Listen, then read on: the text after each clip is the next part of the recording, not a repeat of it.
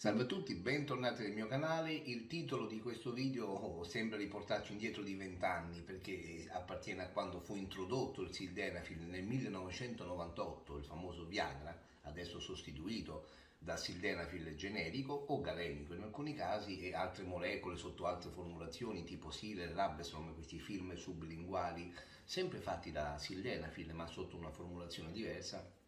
ci fu un abuso, un'esplosione dell'utilizzo con dei decessi che non erano legati eh, in maniera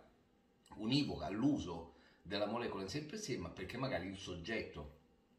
che abusava di questa molecola aveva delle cardiopatie in atto, delle patologie cardiache severe, che chiaramente la, il, sovra, il, sovradosaggio e anche lo stress, psico, lo stress fisico eh, che la, la molecola mh, portava alla persona che si dedicava in maniera eccessiva anche a un'attività sessuale, magari da tempo sopita e, e non più raggiungibile senza il farmaco, poteva portare a degli eventi cardiovascolari, come se improvvisamente un cardiopatico si mette a preparare la mezza maratona con allenamenti estremi dal primo giorno.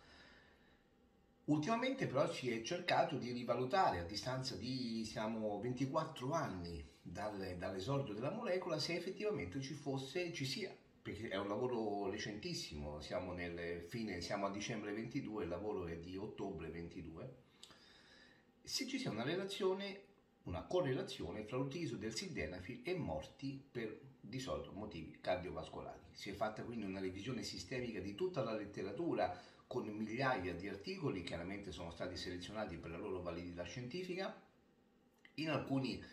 report si parlava addirittura di una mortalità del 25%, parliamo di assunzioni diciamo anarchiche, di automedicazione, di persone che hanno intrapreso l'utilizzo di sildenafil a dosaggi anche al di sopra di quelli classici, si parla di 200-300 mg per ogni occasione. Allora in quel punto si è visto che al, al, di sopra di certe quantità di molecole a livello ematico, perché sono state eseguite anche delle autopsie, effettivamente vi era una possibilità di correlazione tra un incidente cardiovascolare e l'uso abuso della molecola. Ma concludendo tutta la revisione sistemica e quindi tirando le somme, non vi è una correlazione tra eventuali decessi rari, fortunatamente sui milioni di utilizzo, e l'utilizzo della molecola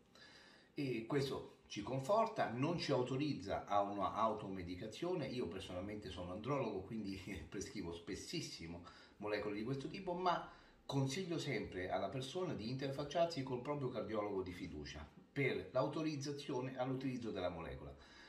Ogni specialista ha le sue competenze, mm, devo dire è una molecola che utilizzo con serenità, la consiglio al paziente senza grossi mm, dubbi anche da parte mia, però il consiglio finale anche sulla ricetta di un confronto, di un conforto del proprio cardiologo di fiducia mette un po' al sicuro tutti quanti, la persona in primis e onestamente anche poi lo specialista che prescrive la molecola.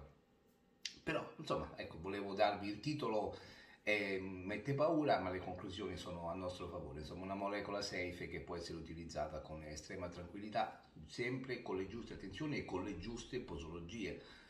Perché ho visto chiaramente sul mercato prodotti underground con eh, chiaramente de- degli eccessi di posologia che devono essere sempre ben ponderati. Con questo vi saluto, siamo a fine del 2022, quindi ne approfitto per augurare a tutti delle buone festività, speriamo, e ci vediamo sicuramente in prossimi video sul mio canale e intanto buona giornata e buone feste a tutti.